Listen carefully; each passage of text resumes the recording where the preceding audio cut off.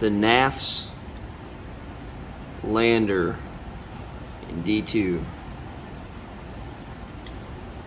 I had a bunch of customers requesting me to make scales for this knife, so I did.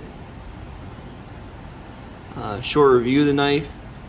Thing's got great action. It's on bearings, D2 steel.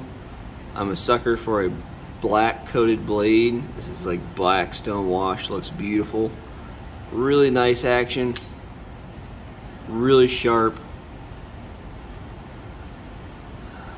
Um, the only thing I think could be improved is it's kind of hard to get that thumb stud which I think I fixed that in my scales which I'll show you guys here in a little bit you know a real knife guy designed this knife. Because most people when they get a knife they're going to customize it. And this knife is super easy to swap out the scales. You don't even have to unscrew the pivot. All you do is take out the handle screws and the pocket clip and the filler tab and they slide off. The knife functions without scales. I think that's a great design. I'm not sure offhand how many other knife models do that. But I think that's a great idea and feature to put in your knife. So uh, let me take these off put uh, my scales on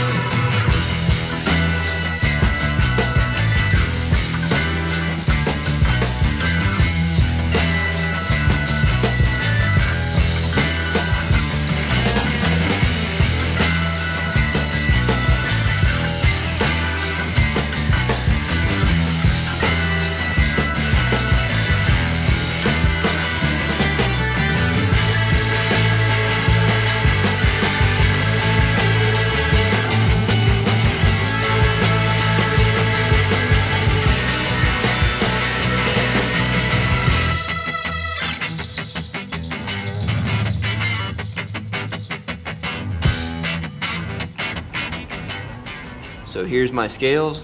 This is burgundy canvas, black burlap inlay. Here's the finger choil I cut in.